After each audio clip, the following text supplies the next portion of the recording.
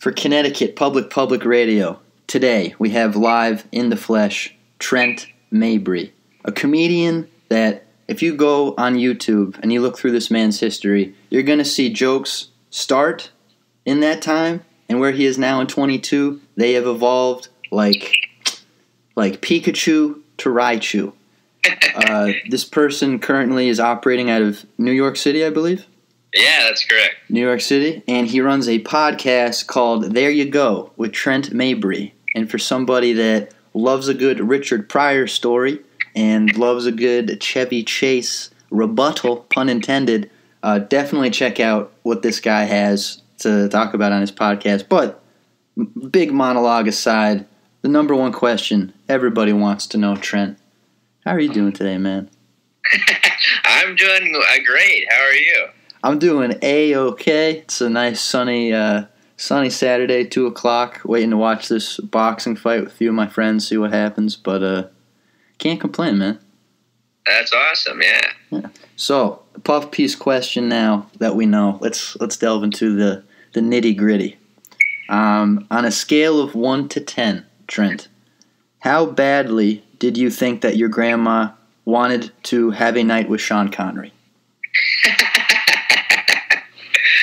Oh, I would go ten. Ten. Yeah. Okay. Yeah. She she loved him. Yeah. And uh, what was it about him that she really, really appreciated? I think you know, there's not really any more like real manly men anymore. You know, Yeah. they're the kind of they all kind of died out. we just get look at me and you, a couple of couple of real scrawny Yeah. dweebs. You know. Yeah. We could we could be managing an XFL team. I know what you're saying, man. but with that in mind, then uh, when I started doing the deep dive of your stuff, uh, there was a bit in 2018 that I related to heavily. Not because you know I think you're taller than me, more lanky, but I look like I could have been in the Goonies at the age I'm at now. But uh, when is the last time you went skateboarding? Oh, jeez.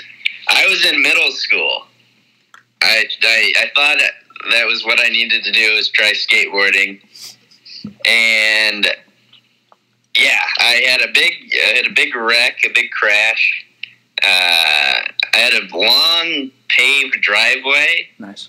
but then it would like it turned into gravel. So part of it was paved and part of it was gravel, and so like cars and stuff would track gravel on. And I, I hit a rock one time and went flying. And uh, got a big like uh, rock in my elbow, and had a big giant bump on my forehead. I probably should have gone to the hospital. I probably got a concussion, but after that, I was like, ah, this is not. I'm I'm done. Yeah. Stick to like Tony Hawk, pro skater and stuff. Yeah. But that was when like Tony Hawk and stuff was huge, like the all the games and stuff. And I was like, oh, this is awesome. I should try to do this in real life. And I quickly realized it's, you can get seriously hurt. Yeah, stick to stick to comedy. But going off of that question, because I love tangents. Did you have a favorite Tony Hawk game growing up? I liked. uh I think it was called Tony Hawk Underground. Hell yeah. Is that? Yeah. Yeah, The one where you could pick up your skateboard and walk around in the game. Yeah. Hell yeah, man. Good call. Um, so going from Tony Hawk's Underground, and I've already said, been going through your content a lot and the evolution of the the Pichu comedian to the Raichu evolution. Um, your your zebra in jail ethnic gang group joke is one for the books. I love Oh, it. thanks. Yeah, man, it's it's just great. And like, what I wanted to ask is, when you first wrote it, or at least when I first saw you perform it, was 2018. So Mhm. when you first wrote it compared to now, um, what is it like performing that joke when you know you- you're about to do a new bit of material? Maybe it doesn't land well. And, you know, four years later, you see on TikTok, people are like, "Oh, holy shit, this rules." But also, how long does it take you on average to perfect one of your jokes? Yeah, so I I kind of pick and choose when I do that one. I haven't done that one in a while. Yeah. Um, I feel like a lot of the times when I write a joke, it's usually I usually don't change it that much. Right.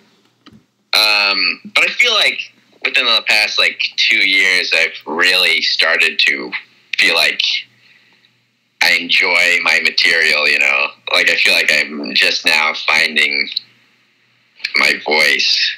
Yeah.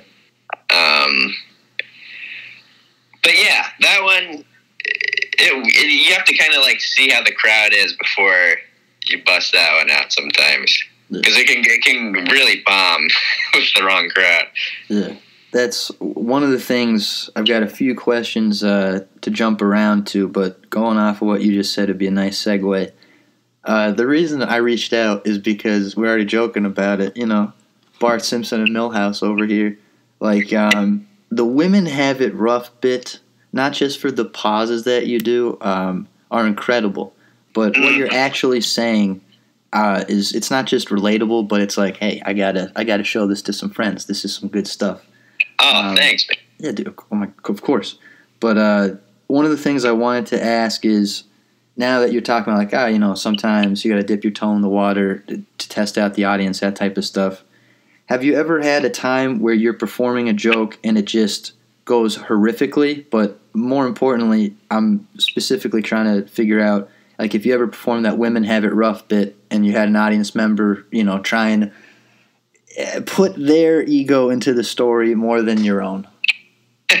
no, not with that one. That one usually does pretty well. I feel like I set it up well enough that you can't really.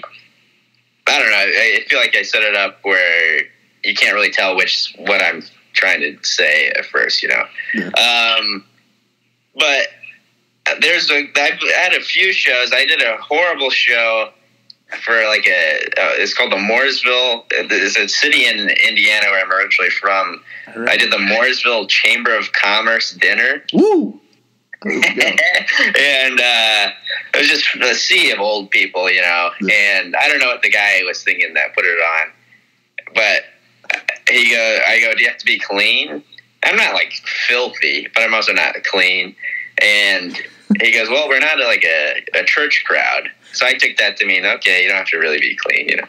Uh, so I get up there and I do a, a joke about like, I look like I smoke weed, but I don't. Is the premise of the joke, Night. and um, that that gets maybe a chuckle, and then I just I do more of my set, and everything else after that just bombs completely. It's complete silence, and he actually ends up walking up on stage. I'm supposed to do like 15 minutes. Shit. I get about like seven minutes in. He's walking up on stage. I go, oh, looks like I'm looks like I'm getting pulled off. and then so he pulled me off stage, and uh, and then I had to sit for like another hour and a half in the like dinner because I had to get paid. Right. So they had me at a table with like the guy that put it on and some other people, and they they gave out like awards and stuff, and I had to sit through all that to get paid fifty bucks. All right. Shout out to uh, all the dinners in Indiana. But besides Yeah. the, the 50 bucks, uh, did you get some food out of it? And what was the food they were serving? Yeah, you got you got you got a free meal out of it. So it was yeah, it was totally worth it. All right, sweet. Then I'm glad. Uh, I'm glad I asked that one because it's kind of puff PC, like, oh, comedian, tell me about the time you bombed or whatever. But uh, for this next one, we've got two true or false questions for you. One is a user submitted one from a fan. So, trying to do doing a thing like I scour through TikTok and DM people incessantly. But the first true or false question, Trent, are you the illegitimate son of Uma Thurman and Ethan Hawke? Uh, I wish. Yeah. Uh, that's unfortunately false. How did uh, how did that interaction happen? You just bumped into him somewhere? Yeah, he had like a documentary. He made a documentary about the actor Paul Newman. Oh, nice. Okay. Yeah, it's really good. Um, but I he had like a screening in New York that I went to, and I talked to him a little bit afterward. Heck yeah. I was just uh, watching Before Sunrise the other day. Great flick, but uh, the next one, our first user submitted true or false question for Trent Mabry. Is your middle name really Louise? no, and that's false as well. Interesting. Um, I like to remain a man of mystery, you know. Uh, no, my real middle name's Daniel, oh, okay. but my buddy Zach and I, in like middle school, we just thought it would be funny if I acted like my name, my middle name was Louise. So that's how I made the, the email. Hell It was also my f- Facebook name Oh, there you go. time. It's, it adds more to the Mabry lore. But this woman from Yeah. TikTok, uh, I think the reason why she was asking is because her middle name is Lou, just Lou, and she. Oh, like, that's this- interesting. This is some interesting shit right here. but uh, all right, so moving on, we're on the second page of questions. Um, are you still afraid to walk alone in broad daylight? Yeah, always. Always. Okay, right there with you, pal. And then from that, if we're talking about day to day stuff, I already brought up There You Go, but tell the folks at home about your podcast, There You Go with Trent Mabry. How did it start, and why should people give a damn, man? Well, it started. I started it during the pandemic because I was bored and I couldn't do stand up. Yeah. And then I thought, uh, why not another stand up with a podcast? You know, that's what the people need. And it started out as like me giving advice. People would like email and, and like ask for advice and stuff. And then, you know, um, I would have like comics on and we would give advice. But then I quit getting emails and I was having to like write my own emails and stuff. And I was like, ah, I don't want to spend this much time doing it. So I've, I've transitioned into like doing like interviews with with older comics and writers and stuff. I just talked to this guy named Peter Mehlman. He was a writer on Seinfeld. Nice. All right. So that's going to come out in a, in a couple weeks. Heck yeah. But yeah, Nice. I enjoyed the interviews more than the advice. So that's what I'm doing now. Yeah, it But seems. if you love comedy, you like old comics and, and stand up and sitcoms and stuff, you should check it out. So, with that in mind, are there any dream projects with comedians that you'd love to work with? Oh man. Um. Well, I was like, I- like my be all end all goal would be like to host a talk show, like a late night show. Okay, gotcha. Yeah. Host talk show. Yeah. Write that down. I'm gonna write. I don't know. Let's say things go well business wise. I'm gonna keep that one in mind. That sounds good. Yeah. So, going off the there you go vibes.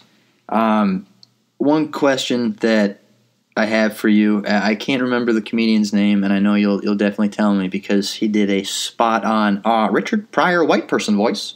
Oh yeah. Um, who is a better comedian in your opinion, Richard Pryor or Chevy Chase, and why? oh. Well, the guy that, who did that was Jeff Altman. Shout out to Jeff. Yeah, he's a great guy. Um, well, they're different. Richard Pryor is a, is a stand up. It's hard to compare. I'm a huge fan of Chevy Chase. I loved Richard Pryor too. Um, this is uh, this is kind of a cop out answer, but obviously, Stan, Richard Pryor is one of the best stand ups of all time. I would say he's not a great comedic actor. Chevy Chase is a great comedic actor. You didn't like his performance in Superman 3 as just Richard Pryor? Come on, man. What? No, I, I I concur with that to the highest degree. And uh, I, not to really get all prophetic with comedy and all that crap, but when you go back to episode 7 of the first season of SNL and you watch the two of them do the Wigger and N-word bit, Oh yeah. it's it's palpable the amount of power and drug usage that that show had and it really was this counterculture on mainstream television and then you look at it now Yeah. and it's like peter dinklage in a wig dancing trying to do like I his best sprockets Yeah, it's it's it's kind of crazy what it turned into. It's like I was just talking about this with somebody. It feels like it used to be like cool, cool people on it. You know, the cast was cool. Now it just feels like theater kids. yep i know exactly what you mean It's very bizarre. So uh, if we're talking about things that are underrated overrated great transition from lorne michaels dumb what is one movie or band trent that you find insanely overrated Oh, a movie or band? Take your time. Yeah, that's tough. A band. This is not. I feel like people, a lot of people agree with this. A band that the first band that came to mind is U two. Dude, let's go. Absolutely. Yeah. So overrated. Uh, yeah. Terrible. Yeah. The only song that I'm like, if it comes on, I'll keep it on, is uh, that "With or Without You" song. But that's mostly because when I was younger, I'd watch Friends, and I was like, "Oh, it's gonna happen for me, man. It's gonna happen for me." But dude, I I agree, hundred percent. Yeah. That's Yeah. South Park Now, thing. Friends. That's the also show overrated. Friends? Ah, Yeah. I agree. I think the first couple seasons were wicked good, but uh, yeah, that one dragged out for far too long. But uh, anything, uh, when you said band wise and Friends TV show with the optional, but a movie you find overrated, Hmm. Yeah, I was trying to think. Not Superman three. No, Superman three. I don't. I don't know if that's rated at all. Exactly. I'll say I'm not a big fan of like. I can't say it's overrated because I never watched it, but I don't. I'm I'm sick of all the superhero movies. So like the Avengers, Yeah. all that stuff. Uh, I never. I would say it's overrated, but I never never watched it, so I can't say for sure. But I'm not a fan of like. I think it's too much. We've we've gone too far with with the superhero stuff. I agree uh, to the to the highest degree, and uh, pretty much with that, I could talk about superheroes all day. I don't want to take up too much of your time. We're almost at the three minutes until you know interview over. But so the past ten years, I've been building this blog. I've been building this brand, and it's starting to pay off, pal. Um, I've asked everybody two questions. The first one, "How you doing today?" Extremely important. I just uh, interviewed a tarot reader and spiritual witchy woman. Um, Oh, really? yeah, and I, for the first time, I got like a negative response where she was like, "I don't really like that question," but I res- Oh, wow. I respect it. Yeah, it, it was interesting to dovetail off of that. But the second question I've asked everybody since uh, hip hopper of uh, I Love College fame, but if you ever have a chance to tech check out the song Tangerine Girl, Asher Roth, I asked him about his ideal perfect breakfast, to which he responded, Well, that's, that's a really great question, man. And uh, Trent Mabry, giving you about 11 questions. We've made so many Superman 3 jokes, cracking things about the XFL or body posture, but what the people really need to know. Trent, in as much detail as possible, you know, how much pulp in the orange juice, what is the rate of crispness to softness in the bacon. Please describe for the Connecticut Public Public Radio viewers your ideal perfect breakfast. Oh, baby. Well, first of all, that's awesome. You had Asher Roth on. Yeah, perfect breakfast. I would have to go. I'm a, uh, if I had the time, sit down and enjoy this. I, I go biscuits and gravy, Okay. so, with sausage, sausage gravy. I would say, you know, three, four biscuits. You chop them up. You, you get the fork and the knife, and you Yeah. cut them up. You tear them into pieces. You, you pour the gravy on it. Now, if you're feeling spicy, you throw a little hot sauce on there. Maybe some Frank's Red Hot, a couple couple drops of that, and um, I would go with a nice uh, cup of coffee, cup of Joe. You sit down, you turn on you turn on Saturday morning cartoons, There you go. and you enjoy you enjoy your day, you enjoy your morning. Eh, You may you may oh also you might if you're really hungry you get a nice uh, cinnamon roll. Ooh, now, a nice cinnamon roll in New York. Where are you going, pal? There's all kinds of places. Um, I would go. I don't know. I don't have a good spot. I I used to live on the Upper West Side. It was right by this place called Orwashers, which was like a like a happening joint. Everybody loved it. I thought it was incredibly overrated. Ah, okay.